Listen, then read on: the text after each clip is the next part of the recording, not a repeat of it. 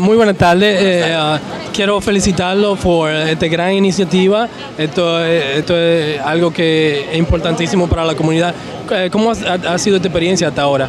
Bueno, mi experiencia en términos general del Festival de Cine ha sido única, ha sido genial.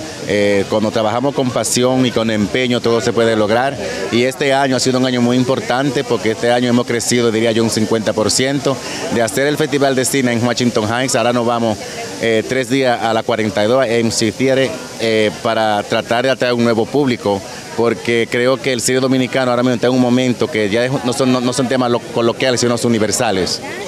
Ah, me gustaría saber eh, ¿qué, ¿qué te sirve de motivación para seguir adelante. La locura.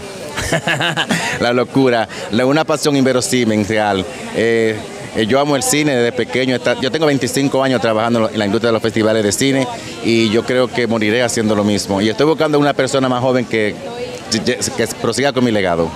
así será, te queremos desear suerte y muchos éxitos. Muchísimas gracias.